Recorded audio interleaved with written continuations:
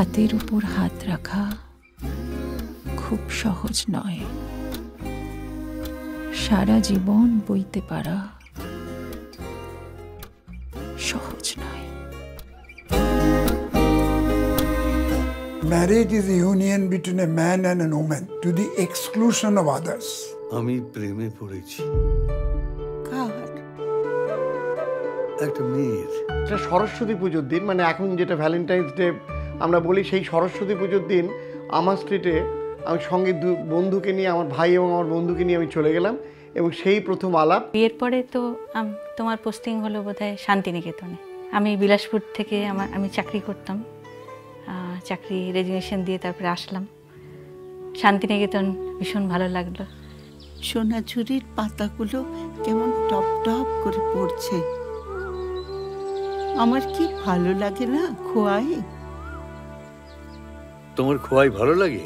হানিমুনের জন্য পাহাড় বা সমুদ্র লাগে না যদি ভালোবাসা থাকে ভালোবাসা থাকলে একটা যে কোনো এঁদো গলির একটা ছোট্ট ঘর সে পাহাড় কিংবা সমুদ্র হয়ে যেতে পারে। Falling in love is very easy but staying in love is very difficult. আচ্ছা আরতি আমাদের মধ্যে কি প্রেম ছিল? নাকি শুধুই অভ্যাস। পরিণত বয়সের পরে যে কতটা গুরুত্বপূর্ণ এবং এত বছর ধরে কীভাবে কাটালাম একে অপরকে একখা করে বা জড়িয়ে থেকে সে বোধহয় এই পরিণত বয়সের পরেই বোধহয় প্রেম নতুন করে। আগে থাকে অভ্যেস পরে হয় প্রেম। তুমি বারিনকে কিছু একটা বলো। রোজ রোজ রাত্রির করে আসে। কি শুরু করেছে বলো তো?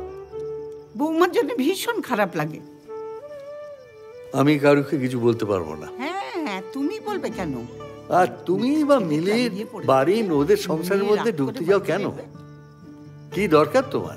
সব কথায় ঝগড়া হয়। ও একটা কেন কথা বলল কেন বললে কি জন্য বললে? বা আমি একটা কোনো কথা বললাম ও বলল কি জন্য বললে? মানে আমাদের তো প্রতি মুহূর্তে ঝগড়া হচ্ছে। যে স্বামী স্ত্রীতে রাগারাগি হয় না জানবে সেই স্বামী স্ত্রীর মধ্যে আন্তরিকতা নেই মেপে চলা। আমি মরে গেলে তখন তো অতই জলে পড়বে। আমার ছেলে ছেলেমেয়েরা আছে? না নেই। মনে করবে তারা কেউ নেই। তুমি কেন কারোর বোঝা হবে? আমি দেখতে চাই তুমি স্বাবলম্বী হয়েছো। আমার সমস্ত খরচাটা ও দেয় আমায়। আমার যদি একশো টাকাও লাগে সেটা ও আমার পার্সে দেবে। আমার যদি এক লাখ টাকা লাগে ওই দেবে। এবং অবভিয়াসলি সেটা যখন ও দেবে মানে ও ইয়েস বলবে তবে হবে। Life is an adjustment. Basically, যেটা হোক to adjust with each other and you have to give space. মানে এটা আপনি sometimes otherwise it becomes very suffocating or otherwise it becomes where you have to suffer each other.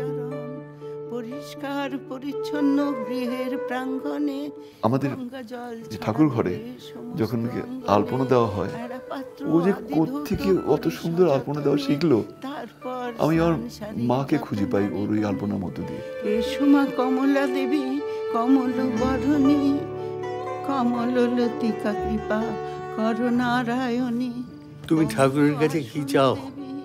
কি? যাতে ধ্যান আমি তোমার আগে চলে যাই। সে খবরও রাখা হয়? আমি ঠিক সেইটি করতে চাইছি। মনের সব কিছু কাদা আর হাসা ধন নয় মান নয় শুধু ভালোবাসা করেছিল আশা।